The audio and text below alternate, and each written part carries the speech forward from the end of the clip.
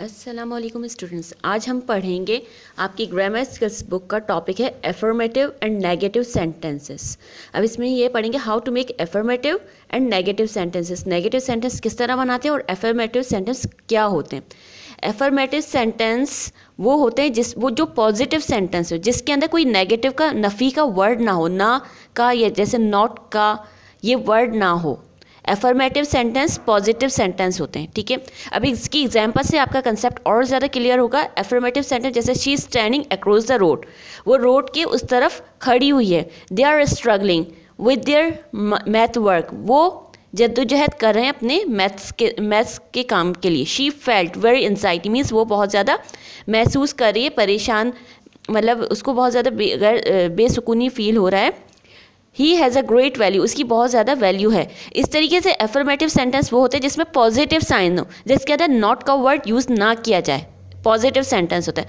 अब in the on the other hand negative sentence negative sentence जिसमें not का word nothing का no one never not ये सारी जो नेगेटिव वर्ड्स हैं वो यूज़ किए जाते हैं। That is called negative sentence negative sentence contain one of the following words इनमें से कोई भी एक वर्ड इंक्लूड होता है इन जुमलों के अंदर. नॉट होगा नेवर होगा no none no one nothing nowhere neither nor ये सारे वर्ड्स में से कोई भी एक वर्ड जिस सेंटेंस के अंदर मौजूद होगा you will say that that is a negative sentence अब एग्जाम्पल्स के तौर पर आप समझना चाहेंगे he is not a good boy वो अच्छा लड़का नहीं है. ये क्या हुआ? ये नेगेटिव सेंटेंस है. She has nothing to it उसके पास खाने के लिए कुछ नहीं है. जो नथिंग है, वो नेगेटिव वर्ड है. No one told me about that mystery उस मिस्ट्री के बारे में किसी ने मुझे नहीं बताया. नो no वन ये क्या किसी ने नहीं. That's not a good idea not क्या है? नेगेटिव वर्ड है. I will never talk to him मैं उससे कभी भी बात नहीं करूँगा. ये जो नेगेटिव वर्ड्स है ना, जिस सेंटेंस के अंदर इंक्लूड हो that will see that that is a negative sentence ठीक है? Affirmative you should know what are the affirmative and what are not affirmative sentence अब एग्जाम्पल्स है. दिस इज़ माई जैकेट ये मेरा जैकेट है। ये कौन सा सेंटेंस हो? एफर्मेटिव अब इस एफर्मेटिव को नेगेटिव बनाने तो आप क्या लिखेंगे? This is not my jacket ये मेरा जैकेट नहीं है। They were afraid of the dog मतलब वो डॉग से डरते हैं। तो इसका नेगेटिव बनाना होगा तो आप जो वर्क हेल्पिंग वर्क के बाद नॉट लगाएँगे।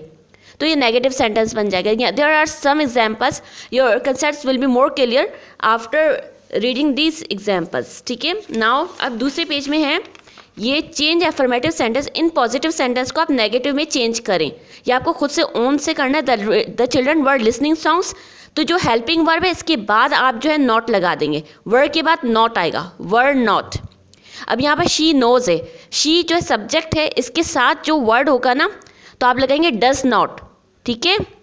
शी के साथ डज लगता है। डज के साथ नॉट लगेगा। अगर वर्ब है वर्ब सेंटेंस के अंदर वर्ब है तो आप ये डज नॉट लगाएँगे या डू नॉट लगाएँगे? और डज उसके साथ लग लगेगा ही शी इट या किसी भी एक वर्ड के साथ डज लगता है। She does not know what to do I can है तो कैन के साथ कैन तो हेल्पिंग वर्ब है। लेकिन इस सेकंड वाले सेंटेंस में हेल्पिंग वर्ब मौजूद नहीं था तो आप लोग लगाएँगे डज नॉट शी के साथ डज नॉट अगर दे होगा शी की बजाय दे होगा तो आप ये लिखेंगे डू नॉट अब यहाँ पर एग्जाम्पल्स लिखी हुई है ना, जैसे आप इस पेज में शी लाइक्स चॉकलेट तो इसका नेगेटिव सेंटेंस बनाना होगा शी जो है सब्जेक्ट के साथ लगेगा शी डज नॉट ही के साथ लगेगा डज नॉट लाइक्ड एल ये सेकेंड फॉर्म है. लाइक like जो है पास्ट फॉर्म है. पास्ट फॉर्म का नेगेटिव बनाने के लिए आप डेड वर्ड यूज़ करेंगे. डज नॉट डू नॉट जो है प्रेजेंट के लिए यूज़ होता है और डिड नॉट पास्ट के लिए यूज़ होता है. I repeat does not do not present के लिए यूज़ होता है. और डिड नॉट पास्ट के लिए यूज़ होता है। यहाँ पर थर्ड में देखिए शी लाइक्ड ये शो करता है, ये पास्ट है। तो आप लगा देंगे हेल्पिंग वर्ब जैसे शी डिड नॉट पास्ट के लिए डिड नॉट और डज नॉट और डू नॉट प्रेजेंट के लिए। ठीक है?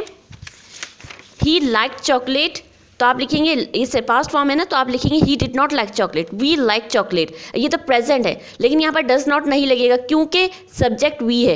ही शी इट और किसी भी एक सिंगल नाम के साथ डज नॉट लगता है। अगर सेंटेंस प्रेजेंट है तो।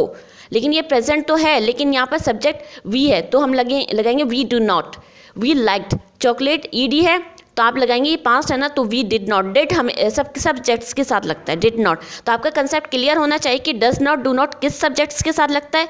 और डिड नॉट तो पास्ट के लिए ही एक ही वर्ड लगता है, सबके साथ। तमाम सब्जेक्ट साथ डिड नॉट ही लगता है, लेकिन ये पास्ट के लिए। Now comes to words the grammar skills book page number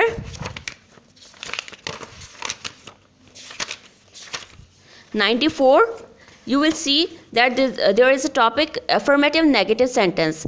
आपका कंसेप्ट और ज़्यादा क्लियर होगा if you read the grammar help अब यहाँ पर पढ़ें एक्सरसाइज ए में आर दी सेंटेंसेस अफर्मेटिव ये सेंटेंस अच्छे से पढ़ें आप ये बताएँ कि कौन सा सेंटेंस अफर्मेटिव कौन सा नेगेटिव अफर्मेटिव होगा तो आप you will write the A in front of the sentence अब पहला है neither of this shops was happen लेकिन ये जो नेगेटिव है, क्योंकि नो का वर्ड यूज़ हुआ है तो एन लगा देंगे। सेकेंड में, ये जो है पॉजिटिव है तो ए लगाएँगे। थ्री में नाउ वेयर ये नेगेटिव है सेंटेंस है तो आप एन लिखेंगे। फोर में, जो है नेवर लिखा हुआ ये नेगेटिव सेंटेंस है तो you will write the N five में ए लगाएँगे। ये एफर्मेटिव सेंटेंस है, क्योंकि इसमें नेगेटिव का वर्ड कोई यूज़ नहीं हुआ है। This is not a good idea not negative है।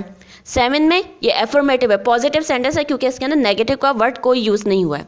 इसी तरह so on you will do you will have to do by yourself now comes towards the page number 95 अब इसमें लिखा है fill in the blanks with in short negative with the negative words अब ये पूरा पैसेज गिवन है, इसमें कोई भी नेगेटिव वर्ड्स ये सारे जो है बॉक्स में in the box negative words are given negative words given है। अब नाइदर का मतलब नेवर का मतलब कभी भी नहीं नो का मतलब नहीं नन मतलब कोई भी नहीं नो वन मतलब कोई भी नहीं नॉट नहीं। अब ये सारे words according to the meaning of the sentence you have to adjust these words nothing कुछ भी नहीं नहीं। ठीक है, पहले में आएगा शी डिड डेट के साथ तो नॉट ही लगता है। डेट क्या है? पास्ट के साथ। पास्ट के लिए डेट यूज़ होता है। ठीक है नॉट अब इसी तरीके से and so on you have to adjust the answers of negative words into the blanks अब ये पूरा पैराग्राफ अच्छे से पढ़ें और एडजस्ट करें। अब यहाँ पर आ जाए पेज नंबर नाइन्टी सेवन में जैन इज़ पॉल सिस्टर ये एफर्मेटिव सेंटेंस है। अब इसको आपको नेगेटिव बनाना है तो नेगेटिव नॉट का वर्ड जो है, हमेशा हेल्पिंग वर्ब के बाद आता है। तो इस क्या हेल्पिंग वर्ब मौजूद है? तो इसके बाद आप लगा देंगे not Jane is not Paul sister second में आएगा the man worked E D है, इसका मतलब ये पास्ट की बात है। तो मैन और इसमें हेल्पिंग वर्ब मौजूद नहीं है तो आप लिख देंगे did not the man did not work इसमें हेल्पिंग वर्ब मौजूद नहीं है तो आप जो है डिड नॉट लगाएँगे। क्योंकि ये पास्ट की बात हो रही है। पास्ट के लिए डिड नॉट यूज़ होता है। थर्ड में आएगा every one every one did not clapped है। ये पास्ट की बात है तो आप लोग डिड नॉट लगाएँगे। Clap did not clap third में आएगा न्यूज़ एजेंट एजेंट सेल्स मतलब एक सिंगल वर्ड है और ये प्रेजेंट की बात है। ही शी इट और एक सिंगल वर्ड के साथ आप लगाएँगे डज नॉट ठीक है सेल्स है, ये प्रेजेंट को शो करता है प्रेजेंट टेंस को शो करता है तो आपको नेगेटिव बनाने के लिए डज नॉट लगाएँगे। कैन है हेल्पिंग वर्ड मौजूद है तो कैन के बाद not I can not run all of my friends like this ये प्रेजेंट टेंस की बात है। तो आप प्रेजेंट टेंस में डज नॉट या डू नॉट लगाएँगे। डज तो हमेशा ही शी इट और एक सिंगल वर्ड के साथ लगता है, लेकिन ये प्रेजेंट तो है, लेकिन यहाँ पर सब्जेक्ट कुछ और है तो यहाँ पर लगाएँगे all of my friends do not आपका कंसेप्ट क्लियर होना चाहिए डज नॉट डू नॉट और डिड नॉट किस सब्जेक्ट्स के साथ लगता है? डिड तो हमेशा पास्ट के साथ लगता है। Did not past past tense है और ये जो पास्ट के लिए यूज़ होता है। Does not do not present का वर्ड है। लेकिन डज हमेशा ही शी इट और सिंगल नेम के साथ लगता है। डज नॉट और जो है डू नॉट वी दे इस तरीके से लगता है। फोर सेवन्थ में आएगा Alice was not helping word मौजूद है तो जस्ट सिंपल आप नॉट लगा देंगे। देयर इज़ हेल्पिंग वर्ड मौजूद है there is not something the animals have ये हेल्पिंग वर्ड मौजूद है animals have been fed the animals animals do not have been fed is helping word है जो इज़ नॉट समटाइम्स सही है now comes to words exercise D change this negative अब negative sentence मौजूद हैं और आपको एफर्मेटिव सेंटेंस में चेंज करना है. Mum was not in the kitchen ये नेगेटिव सेंटेंस है, इसको लिख देंगे. Mum was in the kitchen क्योंकि एफर्मेटिव सेंटेंस पॉजिटिव होता है, इसमें नेगेटिव का वर्ड नहीं आता। The soup did not did से अंदाज़ा होता है, ये जो है पास्ट की बात है। तो इसका एफर्मेटिव बनाने के लिए द सूप स्मेल्ट इसका पास्ट वर्ड लिख देंगे।